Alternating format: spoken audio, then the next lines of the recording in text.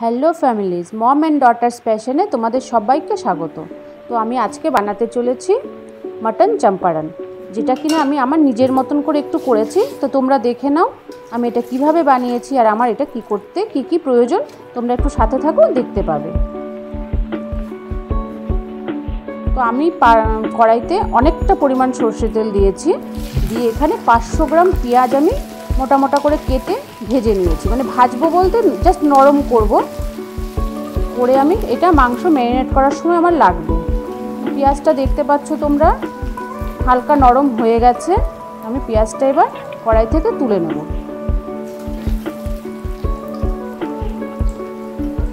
পেঁয়াজ কুচলে একদম বেশি নরম হয়ে যাবে, যেটা আমি করব না। তার জন্য আমি একটু মোটা মোটা করে পেঁয়াজটা কেটেছি। এখানে আমি নিয়েছি এক কিলো মতো মাংস। আমি এখানে একটা রসুন, একটু কুচিয়ে নিয়েছি আর আদা। হাফ ইঞ্চি মতো আদা কুচিয়ে নিয়েছি, আমি দিচ্ছি হলুদ, ঝাল লঙ্কা, হাফ হাফ মেথি গুঁড়ো এক চামচ ধনে গুঁড়ো, এক চামচ জিরে গুঁড়ো আর কাশ্মীরি লাল মির্চ। আর দেবো হাফ কাপ দই। টক দই যেটা আমি ফেটিয়ে নিয়েছি আগে থেকে। দুটো তেজপাতা আর গোটা রসুন, দুটো কাঁচা লঙ্কা দিলাম। আর দিচ্ছি আমার সেই ভাজা নরম করা পেঁয়াজগুলো। আর পেঁয়াজের ভাজা তেলটা। আমি এখানে দিলাম, পরে আমার তেল লাগলে আমি দেব। নর্মালি রান্নাটা ঘিতে করা হয়। তো আমি সর্ষের তেল আর ঘি এখানে অ্যাপ্লাই করেছি। আর খুব ভালোভাবে এটা মেখে রেখে আমি আধ ঘণ্টা রেখে দেব। ম্যারিনেশনের জন্য। আধ ঘণ্টা আমার এদিকে হয়ে গেছে। আমি মাটির হাঁড়িতে রান্নাটা করব। এখানে আমি তিন চামচ, তিন বড় চামচ ঘি দিয়েছি। দিয়ে মাংসগুলো দিয়ে দিচ্ছি। আর তোমরা যদি মাটির হাঁড়িতে করো, হাঁড়িটা বসানোর আগে হাঁড়িতে তেল ভাগি যা হোক সেটা দিয়ে নেবে। শুধু হাঁড়িটা যদি গ্যাসে বসাও, সেটা ফাটার ভয় থাকে। তার জন্য ঘি বা তেল দিয়ে নিতে হয় তো আমি মাংসটা দিয়ে দিয়েছি। খুব বেশি নাড়ানো যাবে না, যেহেতু এটা মাটির হাঁড়ি। ভেঙে যাওয়ার ভয় থাকে। খুব সাবধানে একটু হালকা হাতে আমাদের এটা নাড়িয়ে দিতে হবে।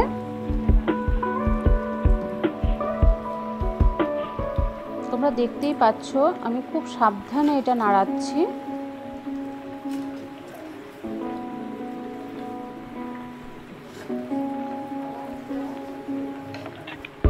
মানে অল্প অল্প করে একটু নাড়িয়ে দিচ্ছি যাতে সমস্ত মশলা এদিক ওদিক ওপর নিচ হয়ে যায়। ঢাকনা দিয়ে ঢেকে দেব। আর আমি আটা মেখে রেখেছিলাম, সেটা দিয়ে একটা লম্বা লেচি কেটে হাড়ির মুখটা আমি আটকে দেব। মানে টোটাল রান্নাটা দমে হবে, তার জন্য আমি আটাটা দিয়ে খুব ভালোভাবে হাঁড়ির চারদিকে আটাটা লাগিয়ে নিচ্ছি, যাতে করে বাইরে, ভেতরের হাওয়া বাইরে না আসতে পারে। তো আমার হয়ে গেছে আটাটা। চারপাশে লাগানো, এবার আমি ঢাকনাটা খুব চেপে আটকে দেব।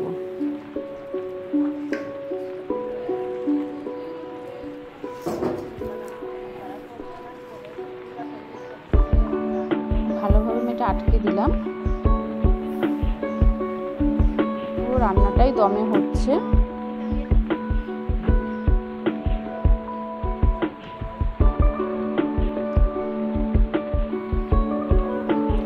মাংসটা নাড়ানোর জন্য কিছুক্ষণ বাদে এসে মাংসটাকে নাড়াবো দুপাশে রুমাল দিয়ে ধরে হাঁড়িটা ধরে নাড়িয়ে দিতে হবে। এবার অনেকটা সময় হয়ে গেছে আটাটা একটু শুকিয়ে এসছে, আমি যাতে হাওয়াটা বাইরে ভেতরের হাওয়াটা একটু রিলিজ করার জন্য জাস্ট একটা ছোট্ট ফোটো করে দিলাম। ফুটো দিয়ে হাওয়াটা বেরোবে। তোমরা দেখতে পাচ্ছ আর ভেতরে স্মেলটাও পাচ্ছি কীরকম হচ্ছে রান্নাটা। তো আটাটা আমার শুকিয়ে গেছে। এবারে আমি এটা কেটে দেখব মাংসটা কতটুকু সিদ্ধ হলো।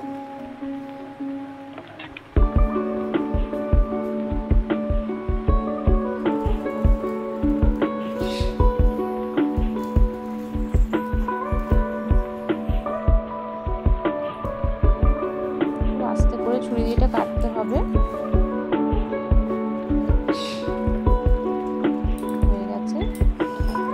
পুরো ভেতর দিকে চলে গেছে, দেখতে পাচ্ছ তোমরা? এবার একটা পিস তুলে দেখতে হবে মাংসটা কতটা সেদ্ধ হয়েছে।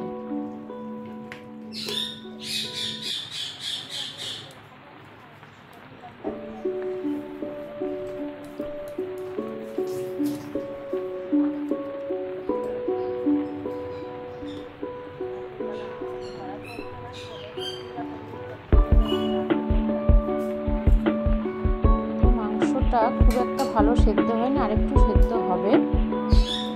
তার জন্য এবার নেক্সট স্টেপে যাচ্ছি আমরা। দেখো, এখনও মাংসটা অনেকটাই শক্ত আছে। গ্যাসে চাটু বসিয়ে দিয়ে তার উপর হাঁড়িটা চাপিয়ে দেবো। আমার মাংসটাতে অনেকটা তেল কম হয়েছে, আমি তেল আর ঘি আলাদা গরম করে এটা মাংসের মধ্যে দিয়ে দেব।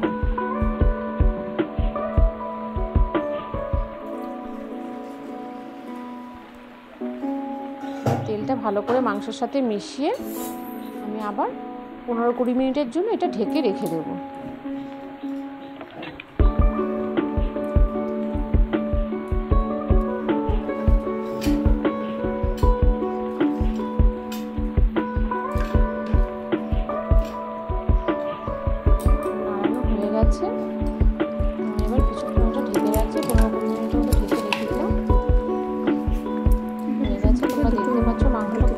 সেদ্ধ হয়েছে। আর তোমরা অবশ্যই রান্নাটা করবে করে কমেন্ট বক্সে জানাবে কেমন লাগল।